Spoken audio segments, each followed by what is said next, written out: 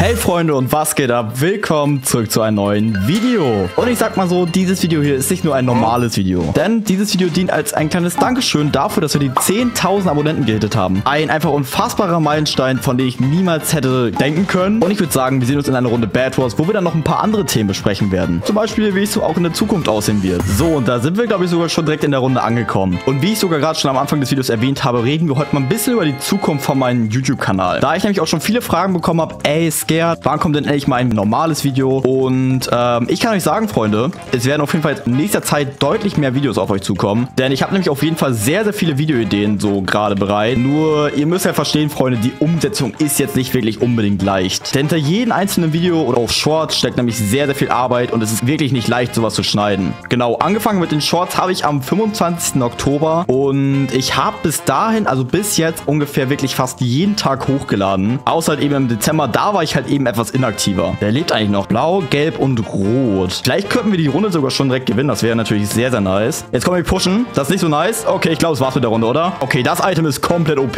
Das soll es eigentlich auch schon wieder mit dem Video gewesen sein. Ich wollte nur einfach mal Danke sagen für die 10.000 Abonnenten. Und ich sag mal so, freut euch auf längere Videos und auch auf weitere Shorts. Haut rein und habt noch einen schönen Tag. Ciao, ciao.